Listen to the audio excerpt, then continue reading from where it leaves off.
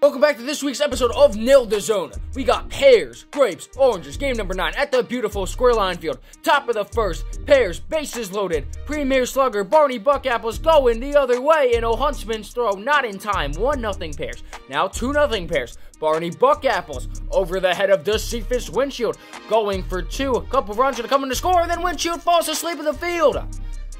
Barney Buckapples goes to third. as a stand-up triple. It makes it 5-0-0. The Cephas Windshield pulling a Little League move, not throwing the ball in right away, and it allows three runs to score. 5 nothing nothing, mid one. Grapes are cooking a little bit. It's Paul Emerson Davis who hits it back to Christopher Joywalk, and Joywalk makes the play in his second career start.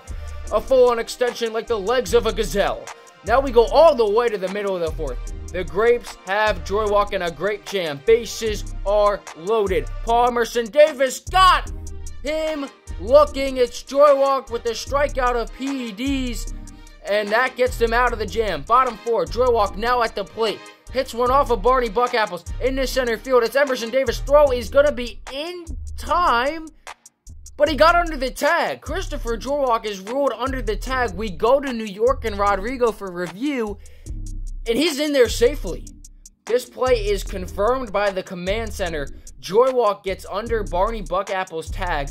The Orange City Orange Oranges have never been thrown out on the bases this season, and I guess in franchise history, he's in there safely at second. Now it's the Cephas Windshield with the knock in this game already. Hits the drop ball, puts it up the middle, and plays a little bit of a couple of mind games, but it's first and third. The Oranges are cooking. Great for them. Now it's Joywalk back at the dish and doing what he can do best. The league's offensive player of the year candidate comes in clutch with a double. It's second and third. The Orange elevate themselves over the Grapes and take command of that game. And now looking to get back in the pairs. Joywalk at the plate again with the bases loaded, draws a walk, it's 5-0-2.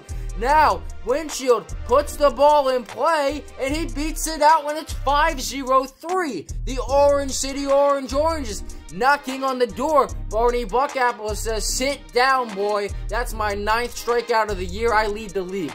Top five. Hairs back up. Rookie Duke Bronze rips it. Back up the middle. Windshield can't make the play. Runner on first. Barney Buckapple says, I'll take a BB because my initials are BB. It's going to be bronze. Back up the plate. Play for windshield. And it's not in time. The speed from Duke Bronze beats the throw out. A similar one like this earlier in the game where the Oranges did make the play. This time, the Pears beat it out. Bases loaded. Barney Buckapples. Flip McFlounder's been pitching, by the way, in this fifth inning instead of O'Huntsman. And the ball is caught! Cephas Windshield makes the catch of his life. He made one of these last week and then does it again. Lit reaction over the shoulder, one handed snag, top 10 play of the year. What a sensational grab by the Cephas Windshield, saving a couple runs and keeping his team in the ball game. And there's the windmill from Windshield.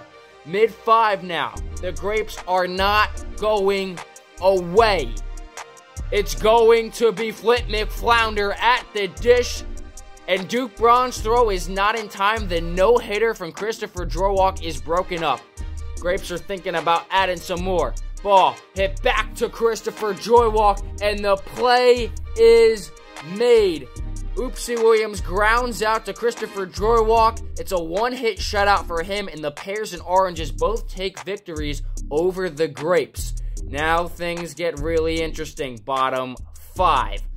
It's Phil Nerf tied for the all-time league lead in saves coming in to try to close this one out. It's going to be a single back up the middle for the Oranges from DeCephas windshield. Some art being made. Then, ball in play from Christopher Joywalk, no throw. First and second, the Oranges.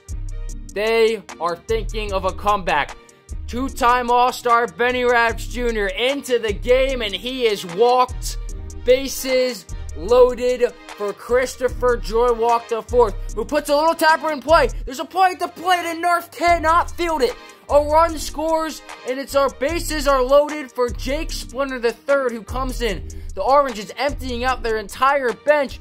and Splinter in the center field. It's Oopsie Williams with the grab, and the Pears beat the Oranges 5 to 4 in the game of the year. They win two. The Oranges go 1 and 1, and the Grapes go 0 and 2. A sensational grab from Oopsie Williams. Phil Nerf gets the job done. It's his fourth career save, jumping Jake Splinter, the person who hit that in all time saves. What a game.